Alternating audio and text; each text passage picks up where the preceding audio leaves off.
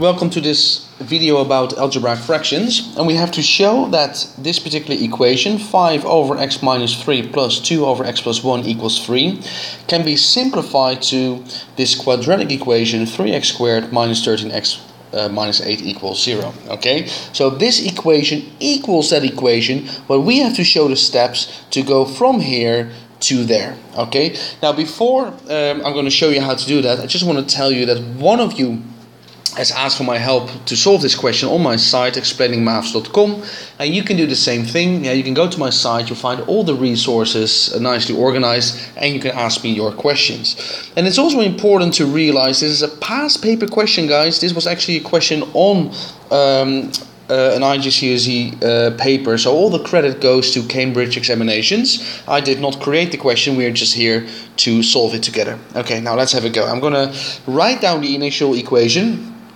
5 over x minus 3.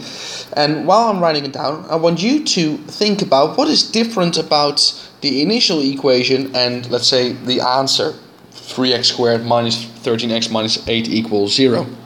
Yeah, and I really like these types of uh, questions because the answer is here. Well, actually, your answer uh, is the steps uh, to go from here to there, but this is what you are going for. What is the difference between this and that? Well, hopefully, you realize I have two fractions here, I don't have fractions there. Yeah, is that what you see? So what are we going to do? We're going to get rid of those fractions and let's see what happens. And what? How do we get rid of fractions? By multiplying it by the denominator. So we're going to do it step by step. Yeah, um, most books do it all in one step. But why? Why? Why hurry? Why uh, increase uh, the chance of making mistakes? We're just going to do it step by step. So we're going to get rid of this particular fraction so we're going to multiply it by that denominator, x minus 3. And then we're going to multiply both sides by x minus 3. Yeah, the left side and the right side, um, x minus 3.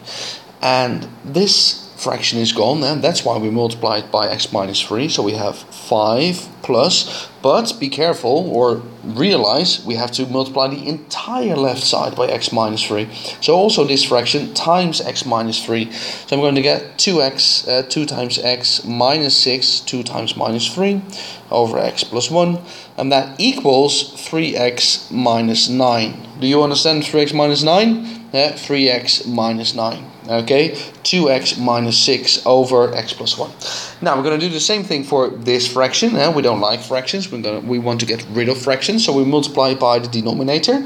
X plus 1 so the entire left side times x plus 1 the right side times x plus 1 so that one is gone okay? So we're going to let me just write down 2x minus 6 here but realize we also have to do 5 times x plus 1 okay? 5 times x is 5 5 times 1 so it's not 5 that's 5x sorry about that.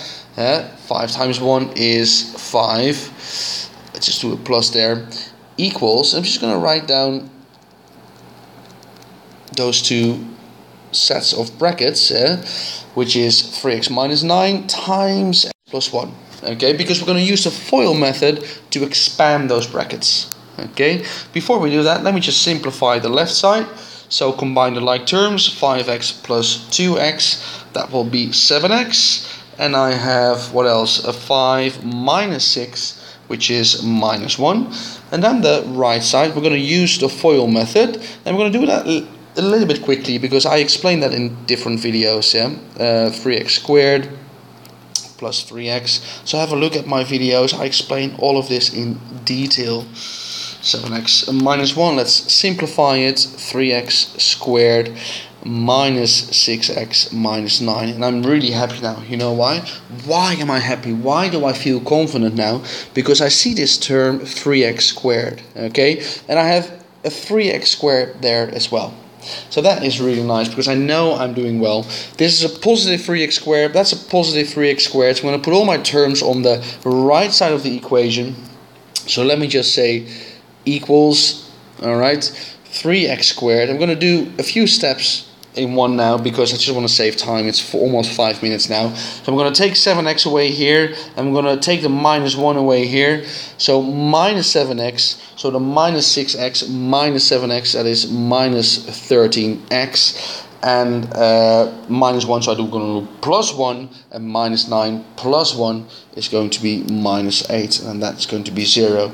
And as you can see now, yeah, that I have 3x squared minus 13x and minus 8, and I say yes! Because that is going to give me confidence. I have shown them it can be simplified. I say then q e D, which you can Google that what that means, okay?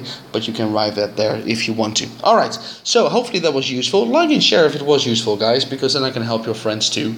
And uh, check my site, uh, explainingmaths.com. You'll find everything for free, nicely organized um, over there. And um, you can also ask me any questions you have. I hope to see you soon, and for the rest, have a pleasant evening. Bye bye.